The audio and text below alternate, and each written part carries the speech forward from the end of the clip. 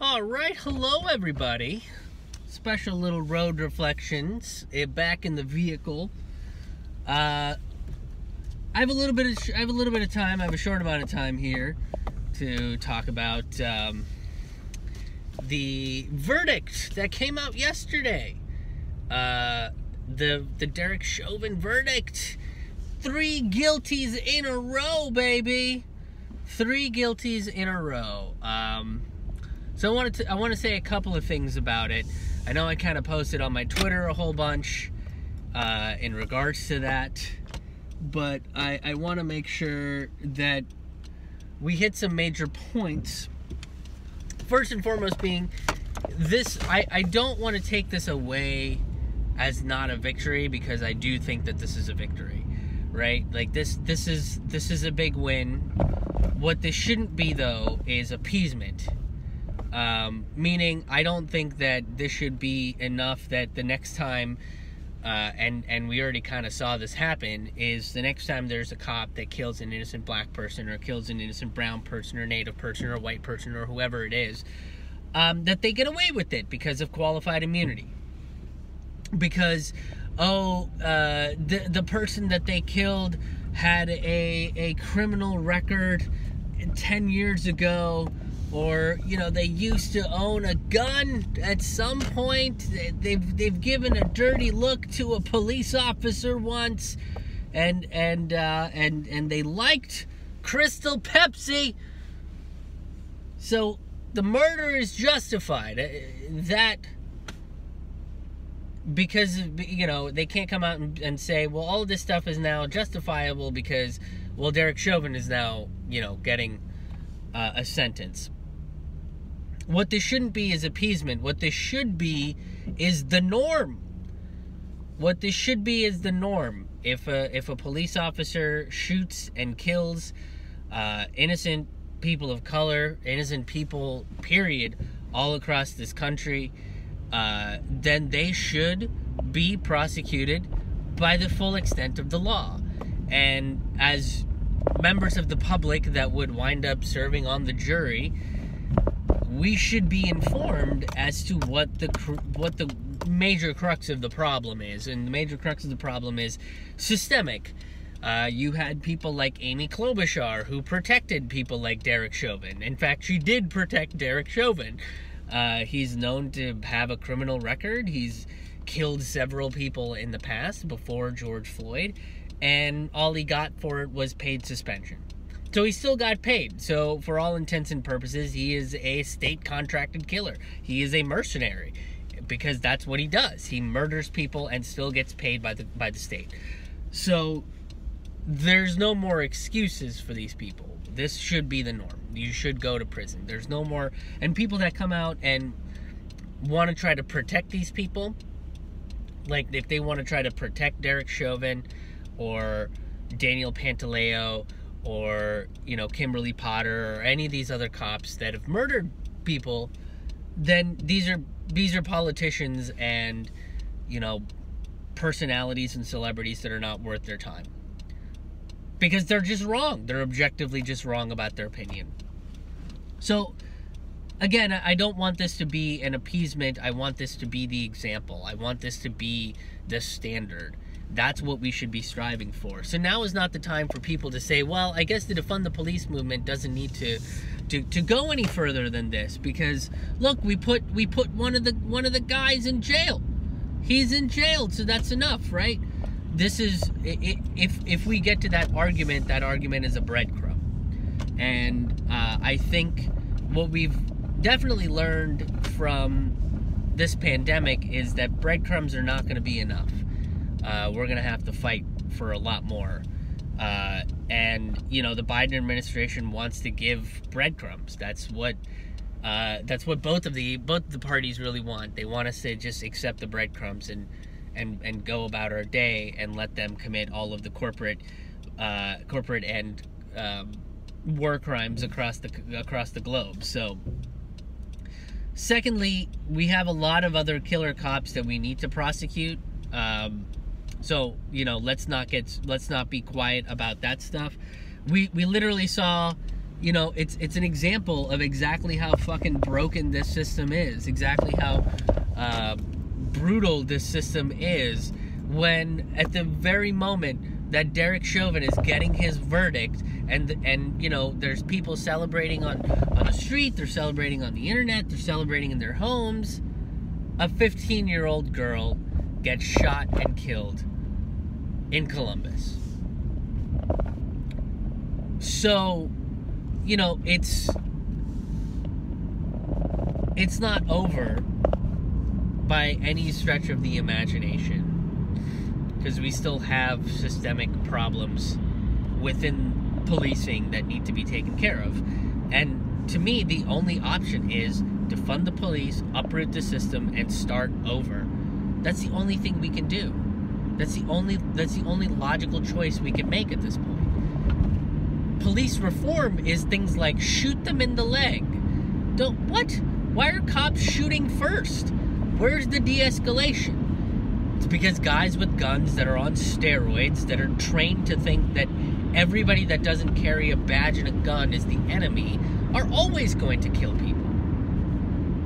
This is what we've been talking about on not just my channel, but people like Lee and you know Graham Elwood, Kim Iversen, Niko House, Slow News Day, Missy Winston. The list goes on and on. This is what we've been talking about for years now.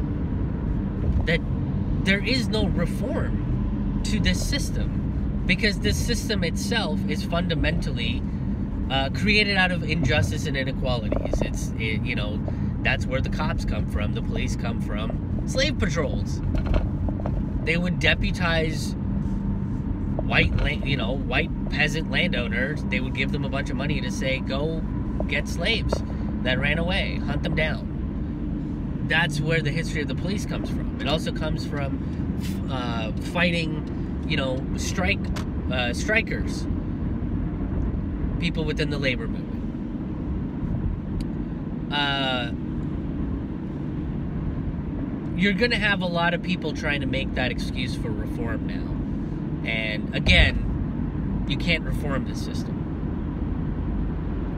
I will say, um, I am hoping that this this verdict will shed some light uh, for some people that have been on the fence about police brutality, right?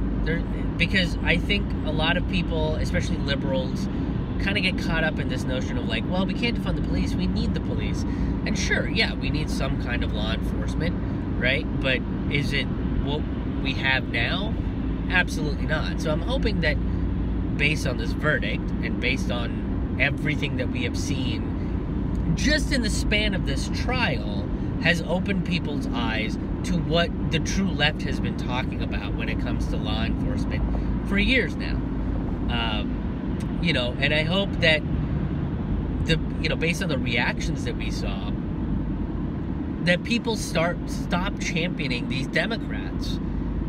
Nancy Pelosi came out and said we should thank George Floyd for sacrificing his life for justice, which is an insane fucking statement to make. And if she would get the ice cream spoon out of her fucking mouth, I mean, this is just as this is just as bad as the shit that they did, where they were like, "We're ending racism by putting African garb on and saying Wakanda forever." Is racism over now? We finished racism, right? It's my best Nancy Pelosi. She is like the human embodiment of alcoholism and gluttony. And, like that's what she is. But she's making him out to be a martyr instead of a murder victim. There's a lot of people that are like, "Oh, give her the benefit of the doubt. She's old, you know.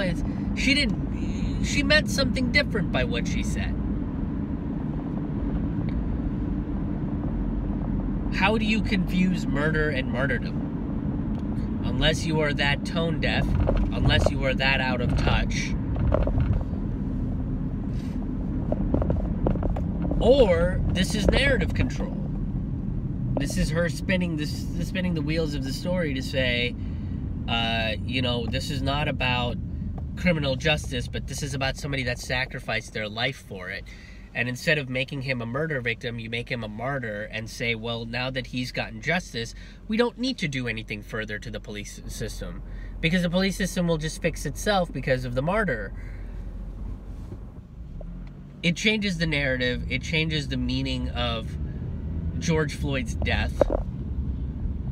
It changes what the trial was, and it's narrative control. So I I'm hoping that there are some squishy liberals that looked at that and instead of making an excuse they're able to see Nancy Pelosi for who she is. She's a huckster. She's a grifter. She doesn't actually give a shit about social issues. She's a bad person. And now, same thing with Kamala Harris and Joe Biden. If they come out and make any statements about, oh, we're going to actually give the police more money so that we can train them to in, in de-escalate. No, no. You know what George Floyd needed? He needed a mental health professional. He was having a panic attack. And if you if if you can't recognize that, then maybe you shouldn't be doing that job.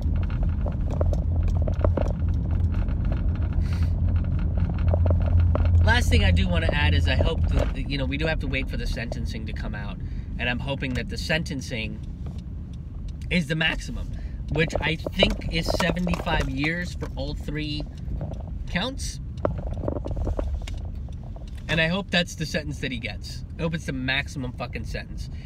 Uh, and I think there's something that, uh, because there was a nine year old that's been traumatized by what he did, um, there might be a, a larger sentence that comes out of it. And the other notion, too, is Derek Chauvin is a fucking sociopath. And you can see it. You can see it. There aren't a lot of emotions on his face when people are on the stand bearing their soul as, as to what they saw when he murdered George Floyd. There's no emotion on his face. None even when he was getting sentenced, or not sentenced, when when the verdict was coming out, he blinked a lot and was kind of like looking around a whole bunch. And then there was an expressionless look on his face. Regular people do not have that kind of a look. An average person would feel something in that instance. He didn't feel shock. He didn't feel anything. That's what sociopaths do. They don't have an emotional register. So he might be able to get I mean realistically like because because of that I think he shouldn't be up for parole. Um, because I think he is a person that does not have any remorse for what he did and all of these and and and all of the things that I've talked about before on this channel with his record. I mean, NBC was like, "Oh, it'll depend on his criminal record, which you know is non-existent." It's bullshit. He has shot and killed many other people. He has run over people. He has a record of being a violent police officer. The reason why there's no record is because people like Amy Klobuchar didn't do anything about it. and the fact his demeanor and the fact that he didn't really feel any emotions at all should say that this is a person that is incapable of feeling remorse. And he shouldn't get paroled. He should serve out that 75 years in prison. I know that sounds callous and cruel but what he did was callous and cruel. And i don't think he is a person that that can be reformed. That understands and knows the weight of his actions, that feels bad for what he did. He's just not that person. So I hope that he gets the maximum sentence and never sees the outside world again. But we'll see.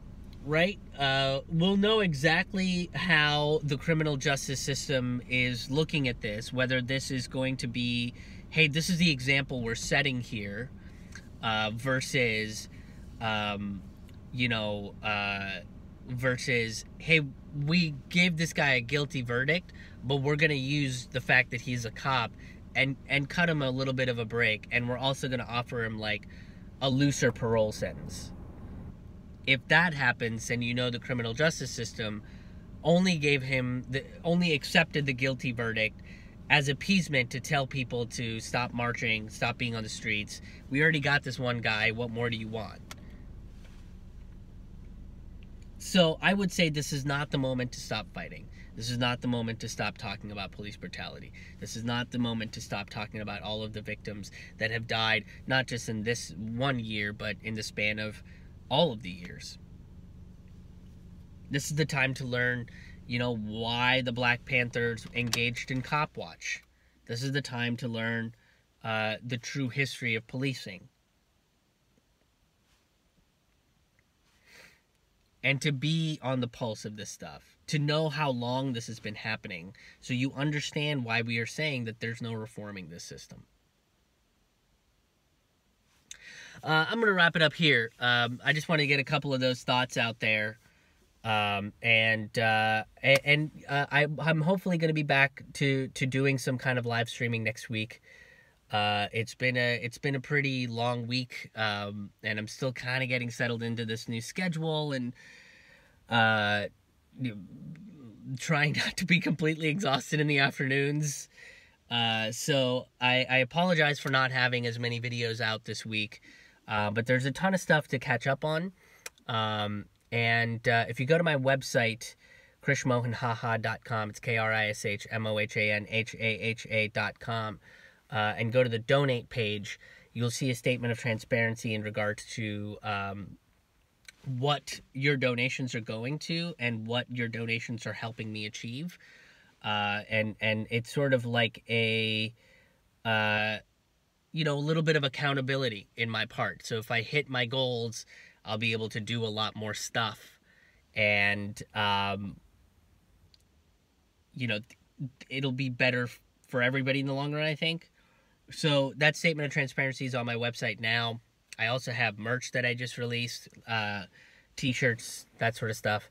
If you're looking for that, that link is also up on my website. And the Julian Assange shirts that are there, I'm planning on donating all of those to, you know, pro Assange groups uh, like Action for Assange or journalists that cover Assange pretty regularly, like Kevin Gosztola or, or Richard Medhurst and folks like that. So, uh, lots of stuff to check out. So I know it's been a it's been a kind of a quiet week, and there's been a lot going on that I would love to talk about, but uh, at the moment, you know, the the schedule is just not allowing me to do so. But I will be back to it, uh, hopefully by next week. Um, and I am taking a lot uh, a lot more time this week to concentrate on uh, the virtual show that's coming up on April 30th, and and and working on that and making sure that it's uh, it's a good show that I'm excited about and that you guys can also be excited about. So. Uh, tickets for those are available on my site as well. So, uh, with all that said and done, uh, thank you guys for tuning in. please make sure you like, share, and subscribe to this stuff. Um, and uh, follow me on Rokfin to, uh, to battle the censorship. Rokfin.com slash Krishmohan haha. Uh, that's going to be the, the place where you're, you're going to see a lot more content um, sooner than you would on any of the other mainstream video platforms. So, um, yeah, with all that said and done, you guys are awesome. Thank you for being patient uh, in, this transitionary, chaotic time that, that uh, I'm going through.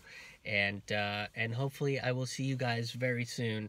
Uh, but till then, stay safe, keep warm wherever you are, and uh, we'll see you on the road. Bye, guys.